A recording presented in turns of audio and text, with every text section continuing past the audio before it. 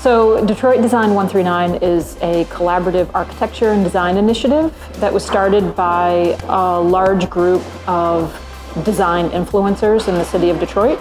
So, we all got together about a year ago and wanted to pull together um, an architecture exhibition that showcases all of the current development, architecture, and landscape architecture projects in the city of Detroit.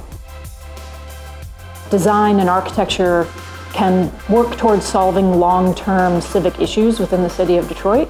Design is happening throughout all of Detroit's 139 square miles and that the design standards for every project within the city's 139 square miles should be the same.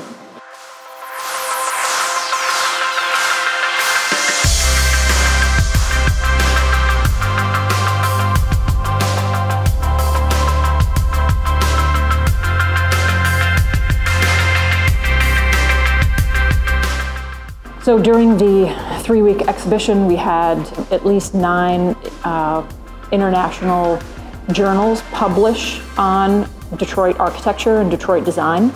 And so what we have now is this, this discourse on what design and architecture are doing for the city of Detroit and not just Detroit's um, central business district and midtown area.